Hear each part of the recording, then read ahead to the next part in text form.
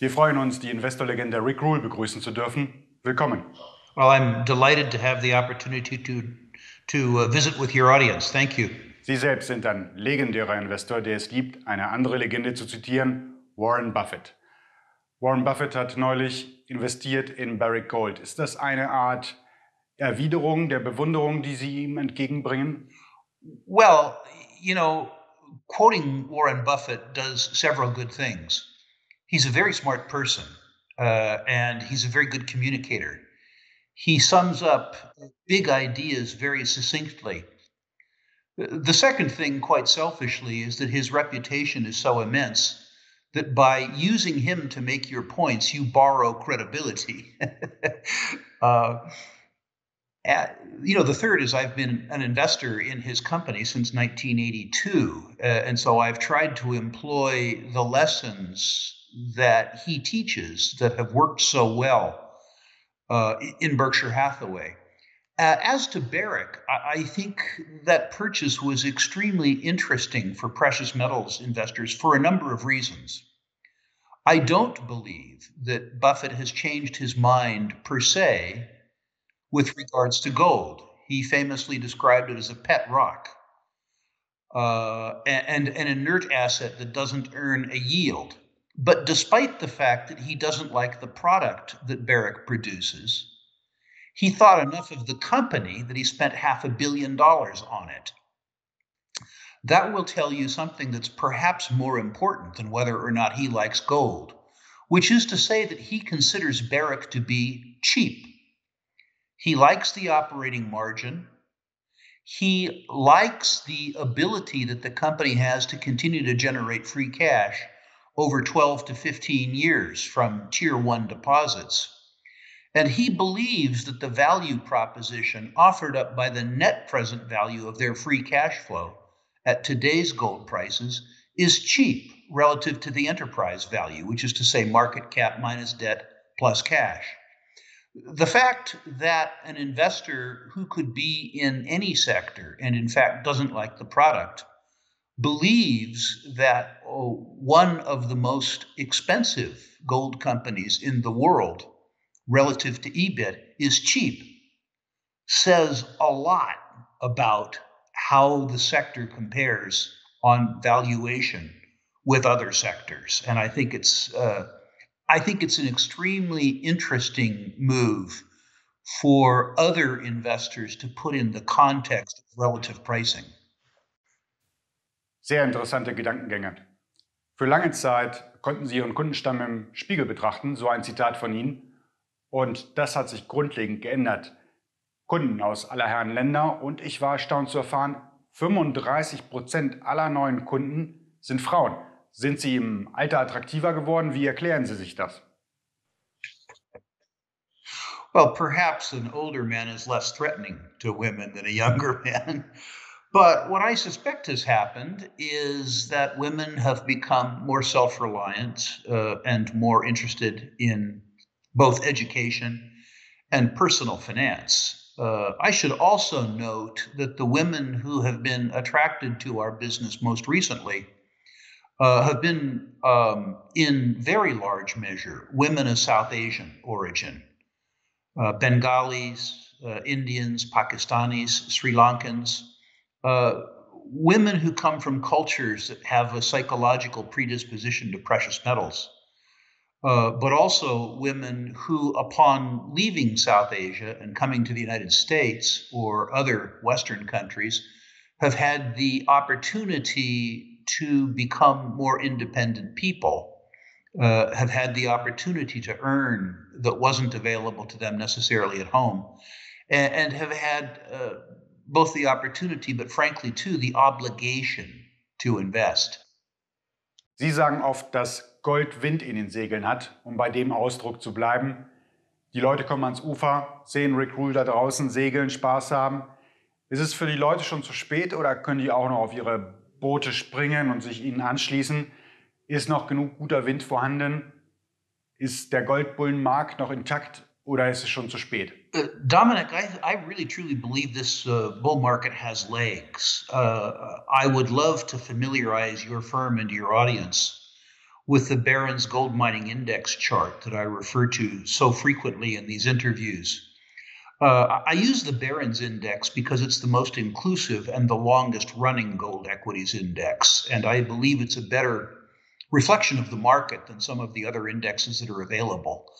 Uh, and in answer to your question, uh, what the um, what the index shows you is that there have been two prior bull markets, gold bull markets, uh, in my career: the 1970 to 1981 bull market, which is to say an 11-year bull market, and the 2000 bull market, which depends on how, depending on how you count, lasted to 2008 or 2011, which is to say that the two prior bull markets were decade long affairs. Now, those bull markets and the intervening bear markets were punctuated by eight rallies from oversold bottoms. Uh, those rallies are really cyclical uh, cyclical increases rather than secular increases. But even the cyclical increases varied in duration between nine months and 43 months, and varied, by the way, in scope from 150% to the upside to 8 or 900% to the upside. I believe that this is not merely a rally from an oversold bottom. Uh, I believe that we are in the early stages of a gold bull market. And the two prior bull markets of my career have been in duration between 8 and 11 years. I suspect that we have been in this market for two or two and a half years. To your uh, comment about the wind being in gold sails, uh, if I may, I would like to defend that thesis. Um, thank you. Uh, I believe that many things move gold, but I believe that what particularly moves gold is investors and savers' lack of faith in the ongoing purchasing power of their savings. Uh, an American centric response uh, would probably be, in particular, their savings denominated in US dollars, which is the world's reserve currency. And I believe that investors have cause to be concerned whether or not they save in euros or pound sterling or renminbi or dollars. Because around the world, uh, we are engaged in fiscal policies that are designed to debase the currency. It makes perfect sense, Dominic, that in a democracy, there would be a war on savers by spenders. Spenders are more numerous. and the nature of a democracy, I think, is the plunder of the savers by the spenders. And I think, in very large measure, that's what you're seeing around the world, including, of course, in Europe. The manifestations of this, I think, are really threefold. The first is quantitative easing, the creation of false currency units. If you did this, if you printed up Dominic's, it would be called counterfeiting. Uh, if I did it, it would be called counterfeiting and we would be in prison. But when the politicians do it, it's called policy and it's popular and it gets them reelected. But irrespective of the fact that it's condoned by the voters, it is harmful to the currency. It is, frankly, officially sanctioned counterfeiting. And your listeners need to understand that when they hear this very cute phrase, quantitative easing, what it means is counterfeiting. The second reason why the wind is in gold sails, and this is true around the world, the Eurozone, the United States, everywhere, is the levels of government debt and the size of the ongoing deficits. I don't know the Europe, European numbers, and I would be terrified to learn. But in my own country, at the federal level, we have $24 trillion in on balance sheet full recourse liabilities and $100 trillion in entitlements, which is to say, off balance sheet uh, obligations that the government allegedly has to its citizenry. These, these are things like Medicare, Medicaid, Social Security, things like that. So, merely at the federal level, we owe $120 trillion. And by the way, these calculations aren't from an old fat libertarian crank named Rick Rule. They come from the government itself, from the Congressional Budget Office. Uh, you uh, service this debt over time, of course, with the national income, which is taxes and fees minus expenses. The problem is in the United States that that number, too, is negative. In the month of July alone, the United States ran up an $850 billion billion dollar deficit. That's not an annual deficit. That's one month. So I would ask your listeners to try to figure out how you add a column of negative numbers, which is to say all of these deficits, and you come up with a positive sum, particularly a positive sum uh, large enough to service the debt we have. And by the way, that number doesn't include uh, state debt or local debt, nor does it include uh, unfunded or underfunded pension funds. Uh, and, and my suspicion is that the only way out of this dilemma, given that the debt is non serviceable, uh, is either a good old fashioned default uh, where the government says to the bondholders, too bad, so sad, we promised, no money, strong letter to follow. Uh, and they say to old folks like me, yes, I know you worked for 45 years, but you're not going to get your pension. It's just not going to happen. Uh, or a dishonest default, which is to say that you inflate away the net present value of the purchasing power of the obligation over time, which is what the United States did in the 1970s. Either circumstance makes people concerned about the purchasing power of their savings over time. Uh, and then, of course, the third reason is uh, negative interest rates. Uh, it, interest does two things it subsidizes, not, not subsidizes, it compensates savers for postponing consumption. Uh, allowing other people to borrow the money to consume now, and it's a reward for people who postpone consumption. The other thing it is, is it's a measure of security for the credit risk that you take loaning the money. Uh, negative interest rates are not a force of nature, they're a creation uh, by the extorting class, uh, by governments. My friend Jim Grant goes so far as to call negative real interest rates uh, on government bonds return free risk. And, and if you follow that uh, gold's biggest competition among savers and investors worldwide is government debt securities, then gold really is competing as we speak with return free risk, which is not a hard fight to win from my point of view. So, those are the three reasons, but those three reasons uh, combine behind another fact that I think that your listeners should pay attention to. And that is the fact that on a global basis, gold is way, way under owned historically. I don't know the numbers in Europe because they're not available to me, but I read a study about a year and a half ago which suggested that the market share of precious metals and precious metals securities as a percentage of the total savings and investment assets in the United States varied between one third of 1% and one half of 1%, which is to say that if you took the value of Americans' holdings in precious metals and precious metals related asset, their market share relative to other asset classes was one half of 1%, which is to say they aren't even an afterthought as an asset class in the United States. Interestingly, the three decade mean market share of precious metals and precious metals assets varies between 1.5 and 2%. So, even with the three factors that we described before, which is to say counterfeiting, negative real interest rates, and debt and deficits, uh, gold doesn't have to win the war against the euro or the renminbi or the US dollar. We don't have to go back to a gold standard. All we have to do is return to the three decade mean. If we return to the three decade mean, demand for gold and precious metals related assets will uh, triple or quadruple. And that's precisely what I think will happen over the sort of three to five year time frame. Sorry for that long winded answer, but I think it's an important, a very important question that you asked. Ich habe einige Interviews mit Ihnen gesehen, in denen Sie anmerkten, dass die Fed eine wirkliche Demonstration ihrer Macht dargeboten hat, als sie in den Markt ging und die Anleihenkäufe durchgeführt hat. Das funktioniert nach wie vor, weil wir Vertrauen haben in die Zentralbanken. Und Sie mögen Fragen, die mit einem Wann beantwortet werden können oder deren Antwort ein Wann beinhaltet. und nicht, ob es überhaupt möglich ist. Und ist das so eine Frage, wann werden wir das Vertrauen verlieren und nicht, ob es überhaupt möglich ist, wann hört die Musik auf zu spielen?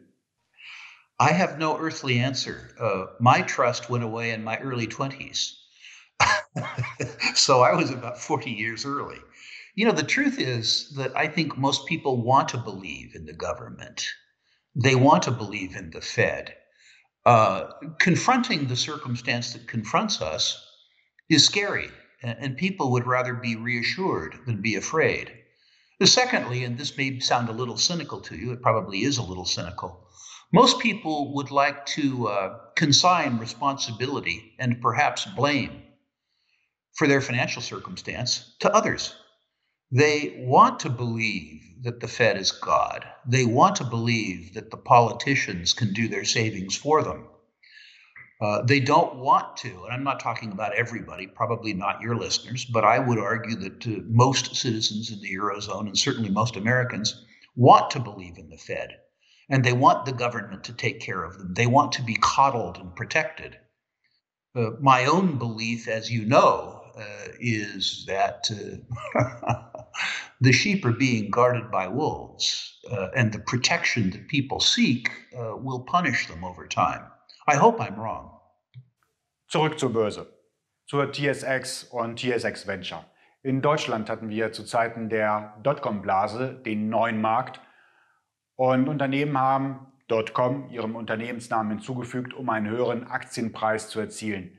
Wird sich die Geschichte wiederholen? Werden wir so etwas Ähnliches erleben? Werden Unternehmen aber diesmal Gold und Silber zu ihrem Namen hinzufügen, um einen höheren Aktienpreis zu erzielen? Absolutely, absolutely. Even at present, uh, among the you know small cap, micro cap names. I'd suggest that 80% of the listings worldwide are valueless, absolutely valueless. And as the precious metals and precious metals equities markets take hold, uh, you will see a proliferation of worthless vehicles. One of the wonderful things that happened in the bear market between 2011 and 2019 is that uh, you know probably a hundred pretend mining companies became uh, pretend technology companies. Uh, probably dozens of Canadian management teams abandoned a business that they didn't understand or like, mining, and they went to a business that they understood well and liked a lot, which is to say, cannabis or pot.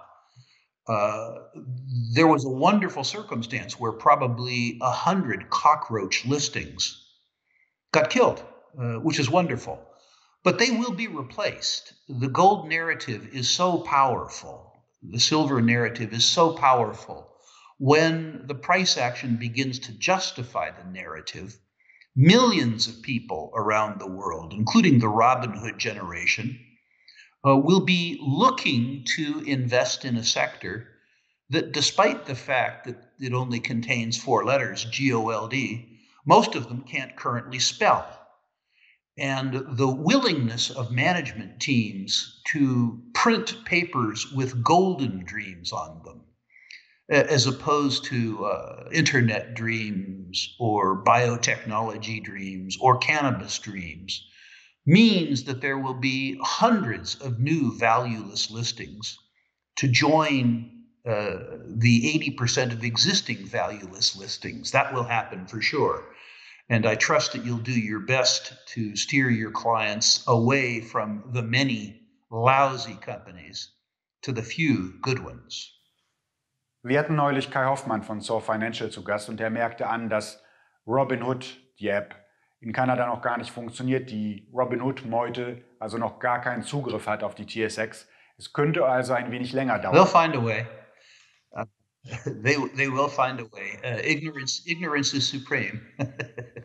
Sie vertreten die Meinung, dass neue Anleger im Goldmarkt sich auf die großen Werte konzentrieren sollten und man gleichzeitig mindestens eine Stunde pro Monat je Aktienwert im Portfolio an Zeit für das Studium investieren sollte. You're a very good student. Uh, in fact, I agree with both of these things. The harder you're willing to work, the more risk that you can take. But many investors uh, are uh, unwilling to work. And, those investors should focus on the biggest and the best, the best of the best. The truth is, uh, in that Barron's Gold Mining Index chart that I uh, referred to earlier, what you learn is that gold bull markets and even recoveries from oversold bottoms are so dramatic that the market beta, which is to say the value of the index, can increase by 150 to 1,000 percent. And for investors who aren't willing to do the work, what's the point of trying to outperform an index that already so performs so extravagantly? I would argue for many investors buying the five or six best gold companies in the world, relaxing, going about your life, making money however you already make money, uh, and even being willing to underperform the index a little bit but de risking it almost entirely by owning the biggest, best, most liquid, most solvent companies is a good decision. Let's say that uh, investors, rather than working really hard and trying to outperform the market, uh, bought the five or six best gold companies in the world. And let's say, just for argument's sake, that in the next three or four years, the index doubled uh, or tripled. Uh, and let's say that those investors, by being cautious, underperformed the index a little bit. Let's say that they only achieved 80% gains or 170% gains. But they did it by taking out all of the technical and company risk associated with the play. That's probably a very good idea. Uh, it's unlikely that in the frenzy that I think will come in a gold bull market, that most people won't be overcome by greed. And greed is a good thing if it's accompanied by work. But if you're going to take the risk, you have to put in the work. One of the things that I offer is a no obligation portfolio evaluation, which I do personally. And I've, uh, I've reviewed over 15,000 portfolios in the last 12 months. And one of the things that strikes me is that people will send in these incredible laundry lists of stocks 50, 60, 70 stocks. And they can't possibly, if they have a life, understand all those companies. At Sprott, we have 200 people worldwide assisting us in analysis. You know, uh, I'm not a lone wolf. And so sometimes I'll talk to these people. I'll say, okay, let's go through the stocks. Let's start at the A's, okay? And apocryphally, this guy has amalgamated aardvark as an A. And he'll say, Yes, Mr. Rule, what do you think of amalgamated aardvark?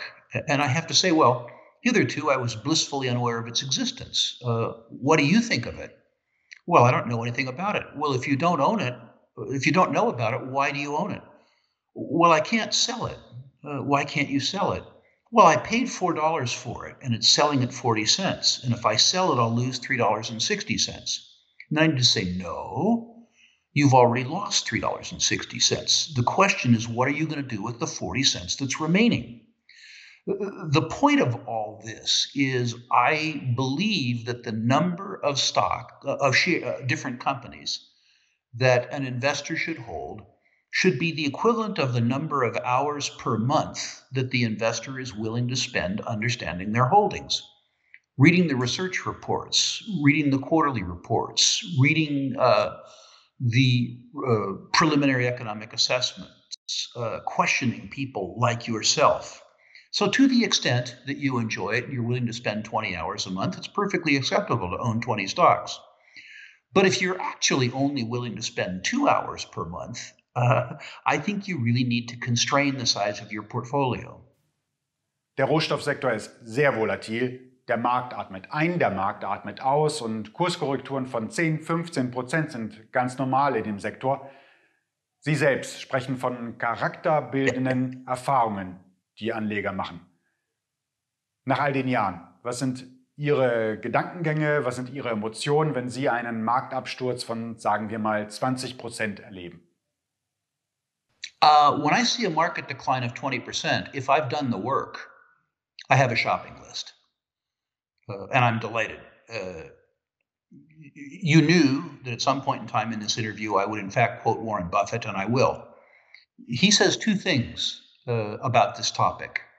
The first is that you shouldn't buy a share where you wouldn't be delighted within a month of your purchase to see it fall by 20 or 30 percent.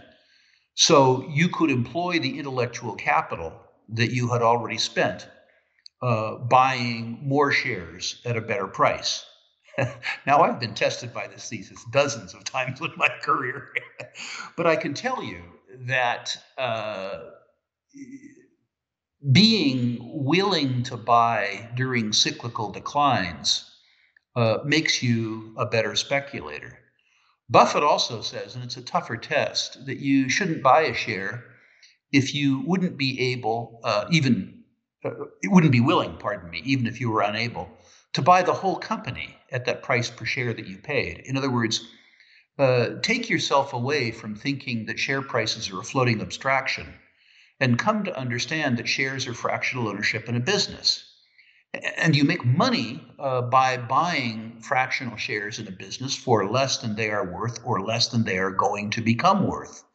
Having a sense of value, uh, what you think the company is worth, uh, makes the price information relevant. Uh, everyone quotes the price information because it's easy to obtain, but it's really a worthless statistic if you don't have an opinion as to value. And many people uh, get that wrong. Whenever I buy a small company share, like let's say less than a billion dollar market cap, or in particular less than a hundred million dollar market cap, I buy it because I believe that the management team is going to answer some unanswered question that will allow more certainty to be established with regards to the values inherent in the company, which is to say, I always own stock for a reason. I always write the reason down, and I always have a plan. Uh, what would make me sell? Uh, if I begin to see that the answer to the unanswered question is negative, I sell. I just sell. Uh, I've learned over 45 years of doing this that accepting a 25 or 30% loss is far superior to losing 50 or 70%, which is the other potential circumstance that one could find themselves confronted with. Sie sind in dieser Hinsicht sehr hardcore. Äh, Sie sprechen davon, dass wenn eine Aktie von 10 Cent auf 1 Cent abstürzt, dann hat man nur zwei Möglichkeiten, verkaufen oder mehr kaufen, aber auf gar keinen Fall halten. Hold is not an option. Uh, you, you, need to, uh, you need to come to a new, new understanding with yourself. Zurück zur charakterbildenden Erfahrung, die Anleger machen. Ist dies tatsächlich so? Ist dies eine charakterbildende Erfahrung oder ist das nur so ein netter Spruch? Haben Sie auf anderen Gebieten davon profitieren können, dass Sie bei Kursabstürzen so ruhig und gelassen bleiben? I would say it's been extremely useful to me. Um, mercifully, I had my first character building experience fairly early in my career. Uh, in the decade of the 70s, as a young man, uh, I experienced an amazing natural resource bull market. And unfortunately, like many young men, hubris filled, I confused a bull market with brains, uh, which is to say, I made a lot of money, and, and somehow I thought that I was smart. I wasn't.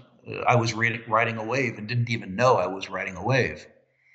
When the commodities market of the 70s collapsed in 1982, I went from being a very wealthy and very proud young man to being broke.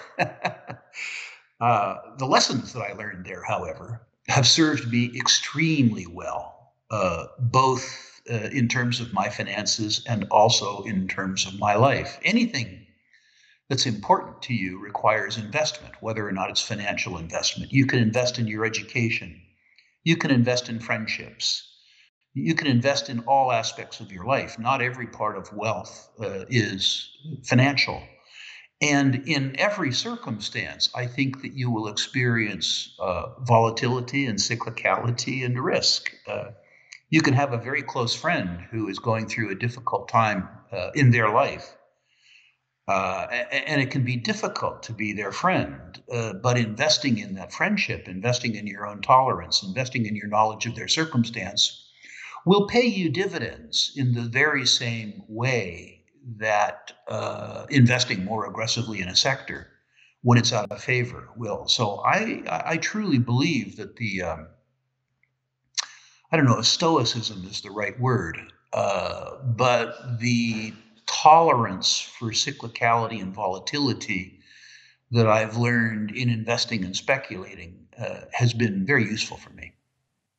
Weil Sie es selbst erwähnten, Ihr Scheitern nach dem ersten Goldbullenmarkt. Sie waren pleite eigentlich, aber statt Insolvenz anzumelden und abzuhauen, haben Sie die Gläubiger kontaktiert und äh, drehten die ganze Situation.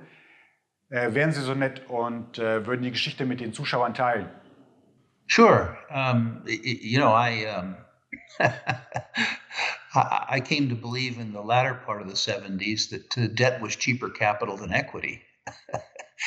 and the consequence of that, uh, and various lenders telling me that I was going to be a blue eyed sheep, uh, something that I wanted to hear, uh, caused me to encumber my assets um, and in a way that I thought was conservative.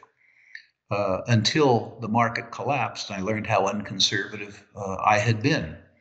The consequence of that is that I went from being a wealthy young man to having a negative net worth, which is to say, I owed substantially more than my assets were worth. Mercifully, I was a hard worker and I had good earnings capability.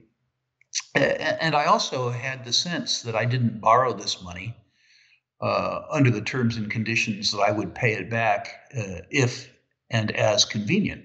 Uh, I, I believe that I had an obligation to pay it back. So I was able to contact the people that I owed it to and explain my circumstance. Uh, and I was smart enough to introduce them to each other, saying, if you will all work with me, uh, I believe that I can pay you back, but any one of you individually can bankrupt me. Uh, and so each of you is, in a sense, responsible for my ability to pay back the others. Um, and uh, in fact, uh, that group of creditors became a club and became friends. And, not only did they give me the breathing room that allowed me to pay back everybody, uh, principal and interest, uh, several of them uh, began to do business with each other, and several of them introduced me to opportunities that allowed me to make the money to pay everybody back more quickly. Um, none of those creditors is still alive. They were older than I was at the time, and they are now deceased.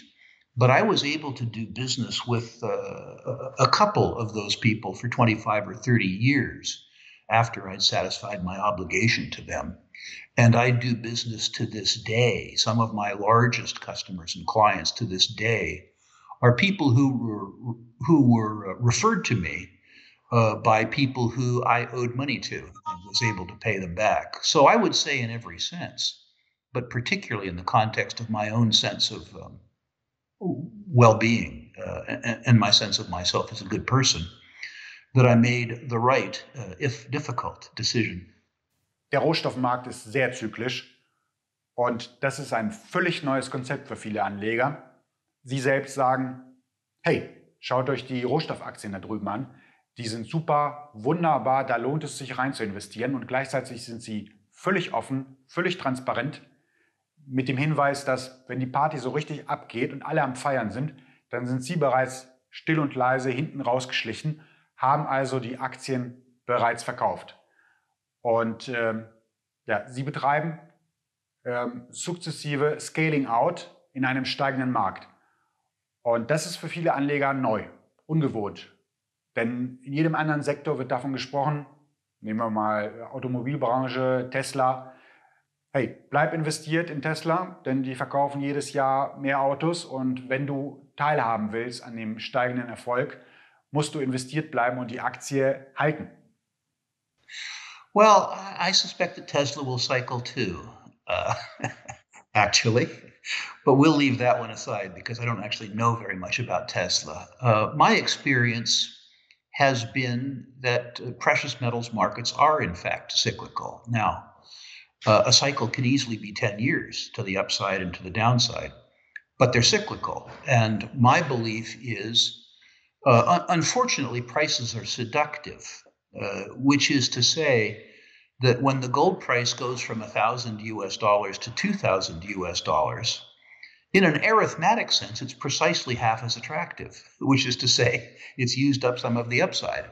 But the price action justifies the narrative. And so people feel more strongly about the narrative when the price action is justified. uh, which is to say that the higher the price goes, uh, which means really the less far that it has to go forward, the more attractive it becomes. And I believe that when people uh, enter into a sector, they need to know why, and they need to know uh, what will cause them to sell. So, in the case of gold, as an example, and precious metal stocks, I will revisit my premise, uh, not when gold hits $3,000 or $4,000 or whatever the number is.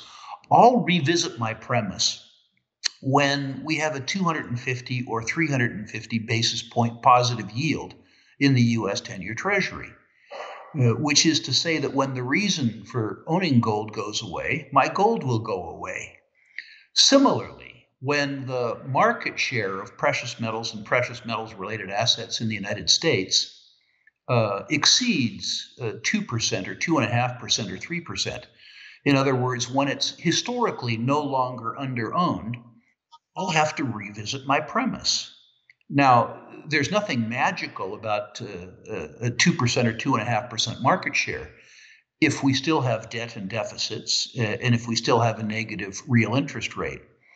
But in my own mind, what I've told myself is I need to revisit my premise and I need to communicate to my customers the fact that the circumstances that caused me to be so aggressively involved in precious metals and precious metals related equities had changed uh, and that I need to review my positions, uh, both in terms of my outlook for the future, but also the valuations. And I think it's important that people do that. Uh, go ahead, no, go, please. Befürchten Sie nicht, dass Sie die Party zu früh verlassen könnten. Die Leute tanzen alle, haben Spaß. Jemand bringt Ecstasy vorbei. Vielleicht ist Robinhood, die Robinhood-Meute dieses Ecstasy und die Party verlängert sich dann bis zum frühen Morgen. I, I understand what you're saying. Um, I'm not smart enough uh, to trade broadly held popular perceptions. Um, I don't own a television set, uh, and as you can probably see, I can't even dress myself really well. So the idea that I would have the ability to trade on a narrative, a broadly held narrative, uh, isn't something that I have any faith in. Um, my schooling as an investor is very much bottoms up value investing, and my orientation is really as a credit analyst, a green eyeshade guy. and uh, somebody who has my skill sets is probably well advised not to be a trader uh, and not to not to try and pay attention to momentum, uh, but rather to uh, follow the lessons that have worked for me in the past. I'm not suggesting that uh, momentum investing or understanding uh, the power of a narrative on investor psychology isn't a wonderful skill to possess. It's just that I don't possess it. Sie erzählen oft davon, dass wenn der Markt abstürzt und Ihr Level der Angst so hoch ist, dass Sie sich bei Aktienkäufen zwingen müssen, einzusteigen, dass es sich am Ende, zumindest oftmals, als eine sehr gute Entscheidung herausstellt. You know, that's very true. And after 45 years, I still experience that terror. Um, prices have an odd impact on your psychology, which is to say that if you experience a 20% cyclical decline in a secular bull market, the 20% cyclical decline causes you to think about reasons why the market might fail. Now, a 20% cyclical decline simply means that the sector is 20% more attractive, is 20% cheaper from an empirical point of view. But we aren't at heart uh, empirical beings. We think of ourselves as objective truth seekers. We think that we absorb uh, all the information available to us in the cosmos and sort it uh, and consider it rationally. But that's not what we do we search for information that supports our prejudices and paradigms at the time, even micro prejudices. And we can go from a raging gold bull at 2000 uh, to being terrified at gold of gold at 1600, although no underlying factor has changed. But that 20% cyclical decline uh, takes the courage out of us, even as the asset that we like becomes cheaper. What you learn uh, is that uh, natural resource markets, as you say, in addition to being cyclical, are extraordinarily volatile. Uh, I remember certainly in the decade of the 70s, uh, we had a wonderful move in the gold price in the early part of that decade from 35 US dollars an ounce to $200 an ounce. And that move gave people all kinds of courage. Uh, ironically, people were much more attracted to gold at 200 than they had been at 35. In 1975, uh, the US Fed uh, tightened up uh, monetary conditions. The interest rate rose and the US dollar rose. And the gold price in nine months fell from $200 an ounce to $100 an ounce.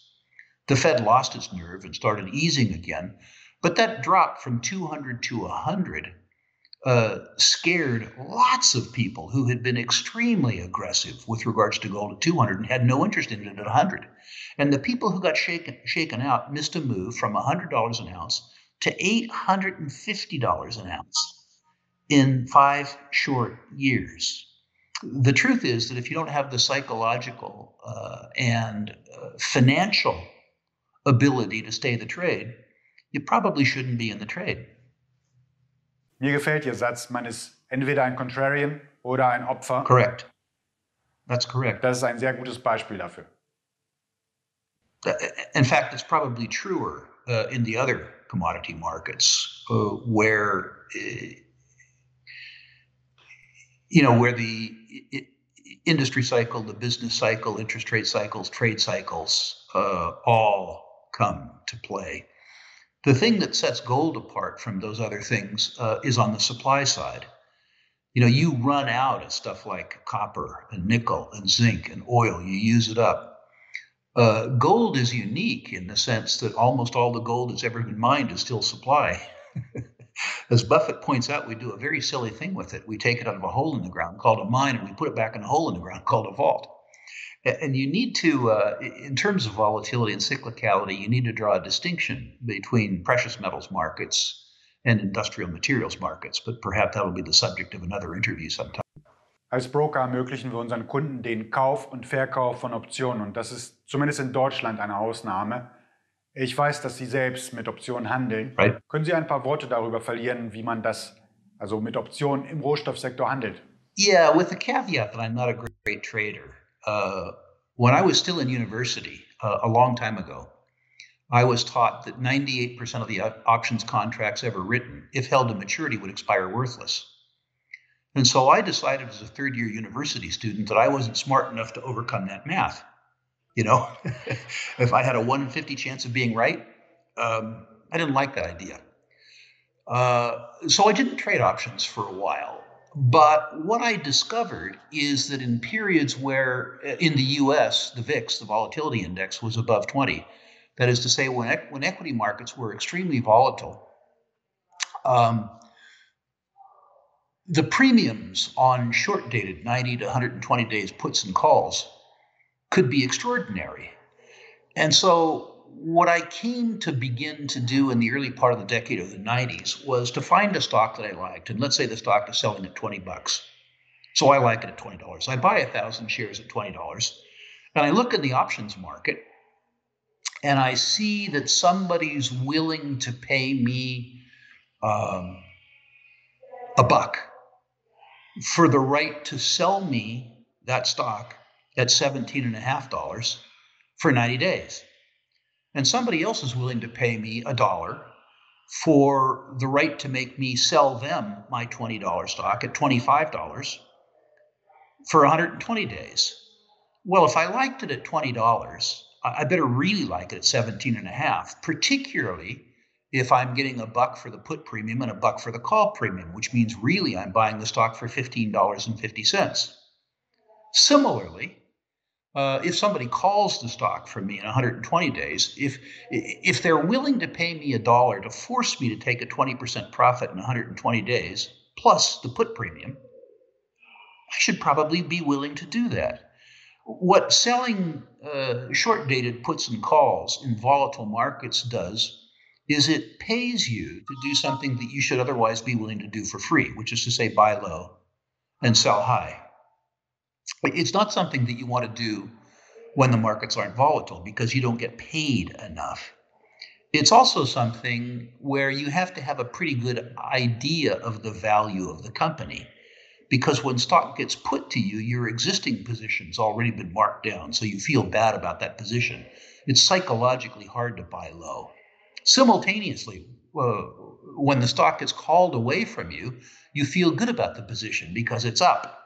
Uh, and so you feel bad about having it called from you. And there have certainly been circumstances where stock has been called from me that's gone on to double or triple in four to five years.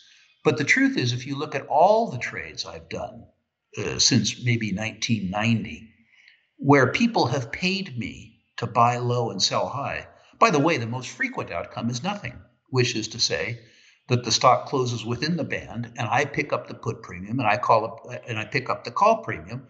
And what I in effect do is, lo- is I lower my basis in the stock, which is a wonderful, wonderful outcome. Uh, so for investors that have the solvency and the fortitude to do it, it's a wonderful technique in volatile times. Danke für Ihre Erklärung. Ein anderer berühmter Satz von Ihnen lautet, dass Know-how wichtig ist, aber das Know-who zumindest im Mining-Sektor, mindestens genauso wichtig ist. Warren Buffett sagt, dass man in Unternehmen investieren soll, die von Idioten geleitet werden können, denn früher oder später wird dies sowieso geschehen. Im Mining-Sektor würde das so nicht klappen. Particularly in the microcaps, uh, in the space below a billion dollars where you're building a company, the management team is all important. Uh, it's everything. Um, there's a truism that yes, mines are found, but mines are really made. And you have a circumstance where there's probably 250,000 earth scientists active in the world today. And we make 50 or 60 discoveries a year, three or four good ones, which is to say that most people never get one. Uh, but some people get 10 or 11. Um, there are simply people who are better at things than other people. Once again, quoting Buffett, there's a mil- you know, there's millions of people in the world that can play basketball, but to win games, you got to have a couple of seven footers. Uh, and the truth is, among management teams, there are some identifiable seven footers. Uh, my own reputation today as an investor was really forged by my ability early in my career to identify seven footers, the Lundin family, uh, Robert Friedland, Bob Quartermain, Ross Beaty. Um, I was fortunate enough to run into sort of eight or 10 people 30 years ago who all became striking successes. And I was able to make myself indispensable to them early in their career, which has served me well in my dotage. Uh, it isn't enough either uh, just to invest in people who have been successful. You need to understand the nature of that success and understand how that relates to the task at hand. You have some people who are technically and commercially competent simultaneously, like Ross Beaty. Uh, that's an unusual skill. You shouldn't assume that because somebody has been successful two or three times in exploration, that he or she might be successful in uh, some other mining circumstance, like operating a mine. You also shouldn't assume that somebody who has been successful operating in Africa will necessarily be successful in South America. And so it's important not just to identify success, but also identify success that's relevant to the task at hand. And you have to go below the CEO too. Uh, you have to look at who the board of directors are and whether or not they own stock. Uh, in other words, whether their interests are aligned with yours, and whether or not the experience on the board of directors will lend itself to the success of the issuer. And you need to look at the resume of the head of exploration. Is this person's exploration success uh, applicable to the exploration that he or she is doing now? How about the chief financial officer? Uh, have they done a good job in the past cultivating ties with the financial services community? Uh, can they explain to you the nature of financial planning that goes on with, within the firm? Uh, all of those questions are part of this spending at least one hour per month on every name that you own. And it's critical, critical that your clients do this. Sie sagen, dass jeder sofort auf seinen persönlichen Goldstandard wechseln kann. Jederzeit sofort umgehend. Aber Regierungen, Regierungen werden nie und nimmer einen Goldstandard zulassen oder auf einen Goldstandard wechseln. Und sie erklären dies zu Recht, die Argumentation, dass Regierungen keinen Kontrollverlust erleiden wollen über Bevölkerung, über die Währung und sich die Möglichkeit nehmen lassen, die Währung manipulieren zu dürfen und zu können. Nun frage ich Sie in Bezug auf China, ist ein chinesischer Goldstandard möglich, denkbar? Und dabei meine ich die chinesischen Goldreserven, von denen man munkelt, dass sie tatsächlich über 20.000 Tonnen Gold betragen. Und äh, das ist natürlich viel mehr als die offiziellen Zahlen. Und die chinesische Regierung möchte natürlich auch keinen Kontrollverlust erleiden. Die Argumentation ist sicherlich die gleiche wie bei allen anderen Regierungen, aber ist ein chinesischer Goldstandard zumindest denkbar als ultimativer Schachzug gegen die USA? Seht her, dort ist unser goldgedeckter Renminbi.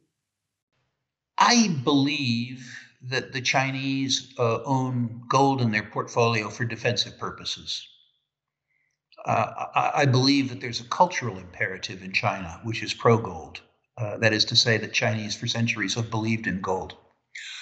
Uh, I believe that the Chinese understand, the Chinese leadership understands the world for what it is, uh, which is to say, that you want an asset that isn't simultaneously somebody else's liability. Remember that gold isn't a promise to pay, it constitutes payment in and of itself, differently than a fiat currency. I also believe that the Chinese government would like to be less exposed to the extraterritoriality of the United States government. The United States is able to exercise power outside of its own border because it operates the world reserve currency, and also because the US Treasury market is the deepest and most liquid investment market in the world. And I think the Chinese would like to see their economic policy unconstrained uh, by the US exercise of extraterritorial power. I do not believe that the Chinese have any interest in a gold standard whatsoever. If you think about uh, what uh, elected politicians have to go through to become politicians. And, and you think about what their compensation is. Uh, I think their compensation is power. Uh, and I think, irrespective of whether your name is Merkel or Trump or Xi, that anything that reduces your arbitrary exercise of power reduces your compensation, it reduces your sense of being. And there is no, no doubt that a gold standard constrains the politicians' ability to manipulate the, co- the uh, economy, their ability to manipulate the currency, the ability to spend uh, resources that they don't have.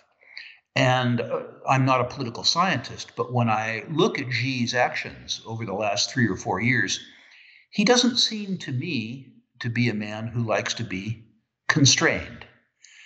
Uh, so I think that uh, I think that the gold standard is as attractive to him as cancer is. Am Ende noch eine persönliche Frage. Sie meinten einmal, dass Sie im Leben gelernt haben, dass wenn man für andere Nutzen generiert, man selbst nie Geldsorgen haben wird.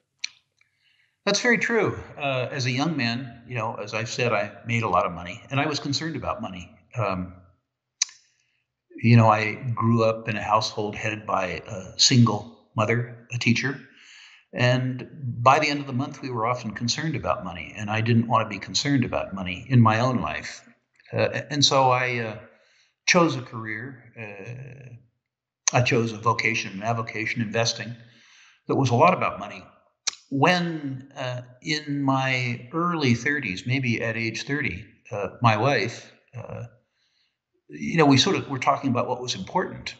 And uh, what I sort of came to the conclusion of was I wasn't going to worry about money.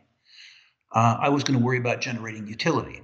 Uh, I was going to worry about doing something that I loved so much that people who competed with me couldn't compete with me because they didn't like what, what they were doing and they wouldn't work with the intensity or they wouldn't work the hours that I worked. And when I started focusing on delivering utility rather than making money, by the way, 1990 was a horrific natural resource market, or, or you know, uh, actually it was earlier than that. But when I started worrying about delivering utility, within three months, uh, there was an enormous increase in my income. Uh, now, you know, maybe that's more applicable to somebody in my business than other businesses. What I've learned is that the surest route to wealth is making rich people richer. Uh, because rich people enjoy money. That's why they're rich. And they're willing to pay somebody to help them do it. Rich people end up being very pragmatic and very generous. Uh, in my own experience, it's poor people who are stingy uh, rich people become extraordinarily generous, particularly if they can see that you're doing something useful for them. They're rich for a reason. Das ist ein schönes Schlusswort. Ich danke Ihnen für Ihre Zeit. Es war mir eine Freude. The pleasure is mine. Uh, I and Sprott uh, look forward to continuing the series uh, as you and your clients believe Jederzeit, it wenn Sie mögen. Great. Danke. I look forward to it. Pleasure.